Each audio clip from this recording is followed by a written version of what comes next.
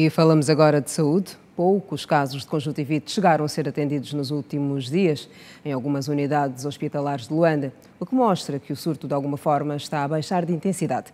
Já em relação à malária, os números baixaram igualmente, mas a doença continua a ser a que mais causa internamentos, segundo dados dos hospitais do Prenda e Josina Machel. Todos os dias, vários pacientes dão entrada nas diversas unidades hospitalares de Luanda, com sintomas de febre, cansaço, tontura, dor de cabeça e dores no corpo. Passei com muita febre, muita dor de cabeça, então é essa a razão que me trouxe aqui no hospital, que é para fazer a consulta e o exame para saber o que é que na verdade tem. O resultado deu positivo. Estou com um por campo de paludismo.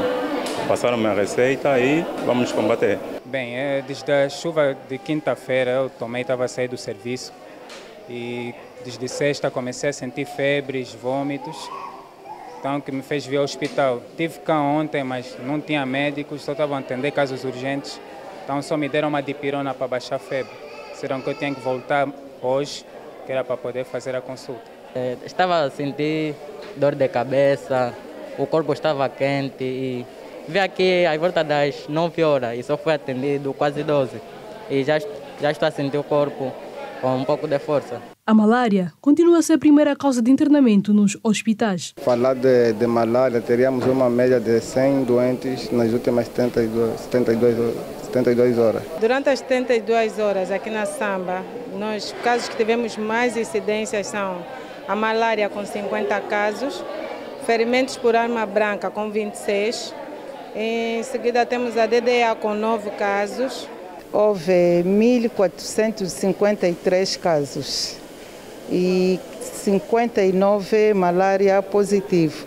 No mês passado, um surto de conjuntivite preocupou as autoridades. Agora diminuiu o registro do número de casos. De momento, os casos diminuíram, porque a epidemia também está a diminuir. Já não temos muitos casos como nos primeiros dias, quando começaram as doenças de conjuntivite. Neste momento, temos pouca demanda. E a conjuntivite, graças a Deus, está diminuindo, só tivemos um caso dentro das 72 horas e traumas com três casos. Os doentes atendidos foram dois e tivemos também três colegas com conjuntivite durante o fim de semana. O uso excessivo de bebidas alcoólicas também preocupa os profissionais de saúde. O ferimento por agressão por, por arma branca todos eles como consequência do uso excessivo do álcool.